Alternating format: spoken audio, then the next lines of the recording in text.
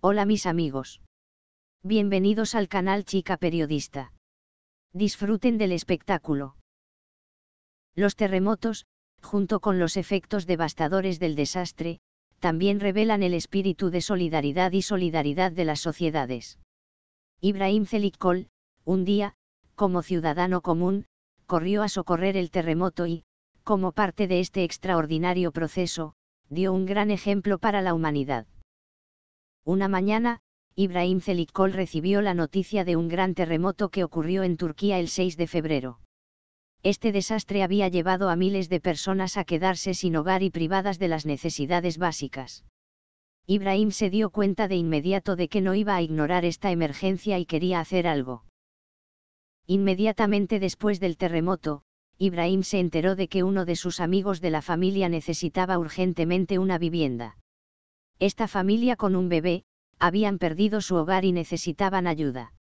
Ibrahim quería mostrar el poder de la solidaridad y el desacoplamiento entre las personas y decidió dar la bienvenida a esta familia a su hogar.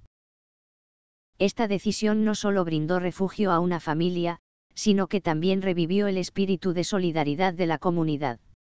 Ibrahim Celiccol, al darse cuenta no solo de su propia casa, sino también de que más personas necesitaban ayuda, inspiró a los trabajadores de caridad y voluntarios a tomar medidas. Este comportamiento de Ibrahim fue el comienzo de un periodo en el que las personas se unieron y se ayudaron mutuamente. Los voluntarios hicieron esfuerzos para recolectar ropa y alimentos, las organizaciones de ayuda hicieron esfuerzos para llegar a las personas que necesitan ayuda, y celebridades como Ibrahim Celiccol apoyaron a sus comunidades como parte de este proceso. El extraordinario comportamiento de Ibrahim Celiccol reflejó el espíritu de solidaridad de la sociedad a la sombra del desastre del terremoto y alentó a más personas a tomar medidas.